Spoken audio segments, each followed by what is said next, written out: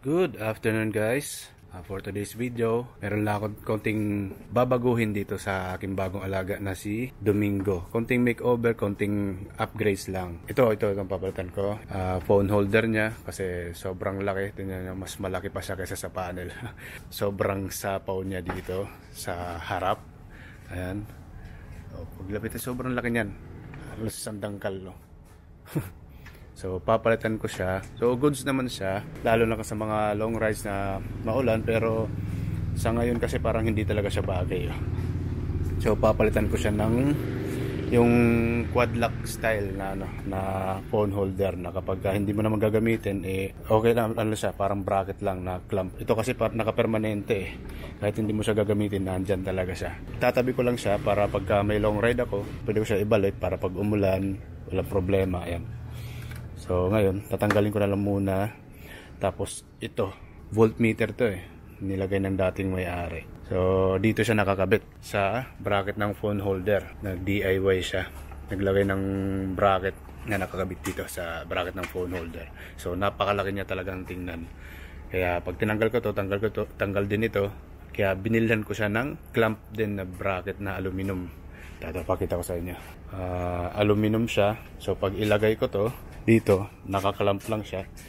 Ganyan. So, diba? so maliit lang siya tapos ito lang ilalagay. Yung voltmeter lang. So makapal naman magandang klase. Sa Shopee ko lang to nabili. Opya. Ganyan lang siya oh. diba? So sobrang liit lang.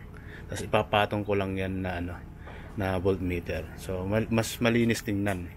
Tapos ito naman yung clamp na bracket din ng phone holder. So ganyan lang siya. Kakabit lang dyan. Tapos pag di mo gagamitin wala ka naman di mo mag, di ka magwe-waste or Google Map yan lang ang nakalagay dyan. Kasi kung kakabitan mo siya ng phone ito lang yun oh. Parang ganyan lang. Kakabit mo lang. Ito yung nakakabit sa cellphone eh. Hindi na siya bulky tingnan di ba? Kumpara naman doon oh. Di ba? So sobrang liit na lang tingnan. So mas lilinis ito tingnan uh, style quad lock pero hindi siya quad lock na brand kasi grabe ang ano nun, presyo. Sobrang mahal ng quad lock. Ito ay Hero Racing lang. Same lang naman sila ng nagagawa. Magkakatalo lang sa sa double-sided tape na ano na nakakabit sa cellphone. Doon na lang ako bibili ng ano, yung 3M na double-sided. Tapos ito din, last ang uh, side mirror. Okay naman side mirror niya, pero para sa akin ay parang hindi talaga siya bagay. Tapos namuti na itong rubber kasi ito eh. Namuti-muti na siya. So, papalitan din natin ng ito. Ito ang ipapalit ko sa kanya na blue lens na Street King. Yan, so nasa ibabaw lang siya ng handlebar. Na dyan lang ganyan. So, mas mas magiging sporty siya tingnan. Ito parang touring ang ano yung dating eh. So dito ko lang din lalagay. So yun lang, yun lang naman ng ano, konting upgrade na ano natin dito gagawin. Phone holder, bracket para sa voltmeter at saka side mirror. Alright. Itong switch ng MDL papalitan ko rin kasi ordinary lang talaga. Sobrang ordinary. Tapos baka ilipat ko dito sa kaliwa kasi tinan nyo. Dito yung grip, ang layo ng ano, switch. So kung si switch on mo off yung ano, yung MDL parang bibitaw ka pa sa accelerator. So ililipat ko sa ano, baka bukas lilipat ko dito sa kaliwa. At least doon pwede kang bumitaw kaliwang kamay mo. Siguro ay yung ko ba't dito nilagay dahil siguro nandito yung bracket ng phone holder kaya dito na lang nilagay ng dating mayari. Pero bukas pa namin gagawin 'yan kasi magpapalitin ako ng MDL kasi V1 ito nandito. So hindi pa siya masyadong maliwanag. Kaya bukas na yon ito muna side mirror phone holder at saka yung bracket. Right? So, ayan, natanggal na natin yung napakalaking phone holder tsaka yung bracket ng uh, voltmeter. So, ayan, no sobrang laki. Tapos tinan mo yung bracket nito. Grabe yung DIY na ginawa dito ng dati may-ari. Tapos iba-iba pang washer, iba-ibang size. Tapos doble-doble. Di mas okay din mo. Oh, di ba mas maaliwalas tingnan. Kaysa dito, nakaganyan. Tapos, so next natin tanggalin itong mga side mirror.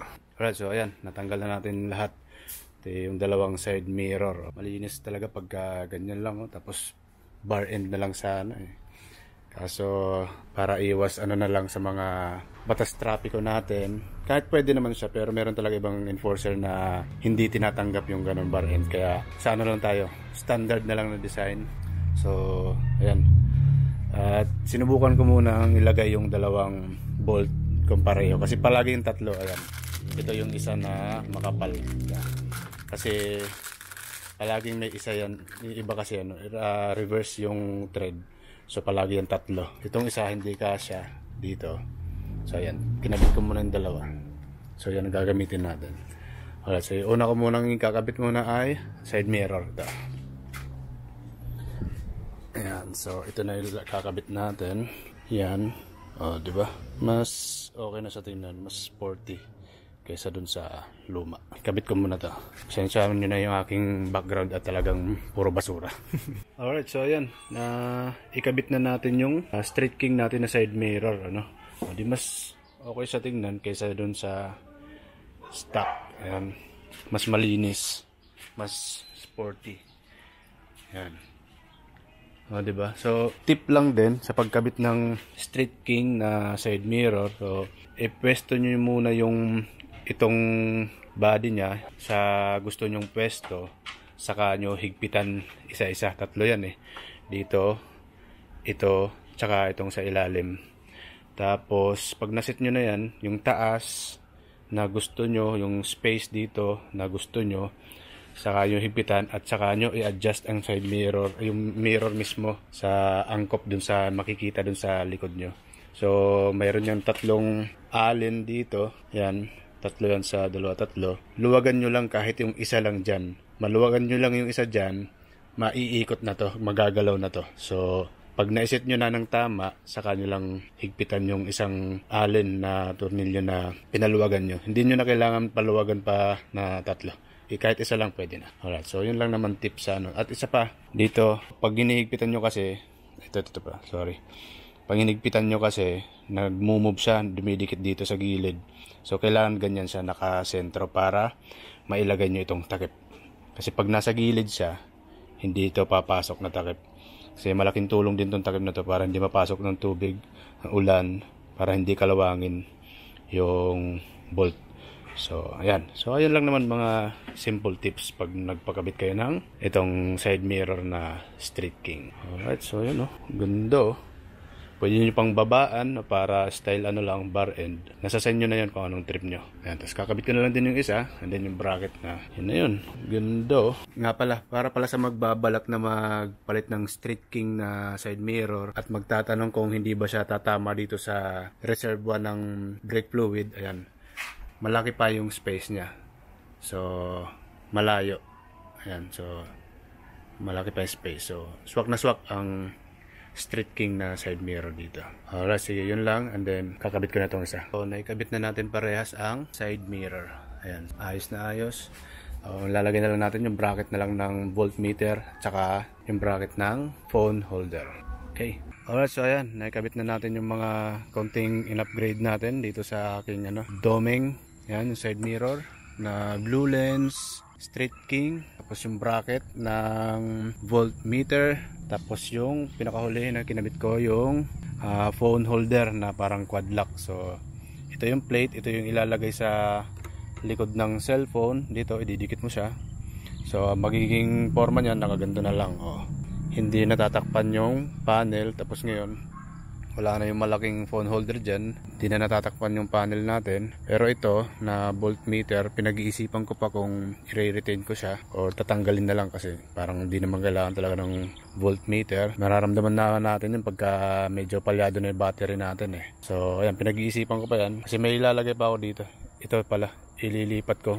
Binilang ko ng bagong switch na domino kasi ito ordinary lang. So dito lilipat para kaliwa. Para kahit naandar eh pwede kong buksan hindi hassle. Tulad dito hindi pwede pag naandar bibitaw ka kasi malayo. So yun. So all goods na ang ating munting upgrade. So ganyan na siya. Ang phone holder. Phone holder tapos pupush lang ito kapag uh, tatanggalin ng phone. So yun na yun. List pogi na siya. Da, buksan natin. Ito pala yung ano, yan. Diyan makikita yung voltmeter. Yan. May silbi na naman ng konti. Pero, parang para malinis lang. Pwede ko rin siyang tanggalin dyan. So, depende na lang yung bukas kung ano mapag ano ko, mapagdidesisyonan. Tingnan natin sa yan. Oh, di ba? Mas okay-okay na siya tingnan kaysa dun sa stock na side mirror.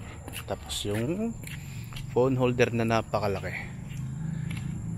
So, sa mga magtatanong, gusto magpalit nito, mga binili ko, yung side mirror, yung phone holder, tsaka yung bracket na ganun.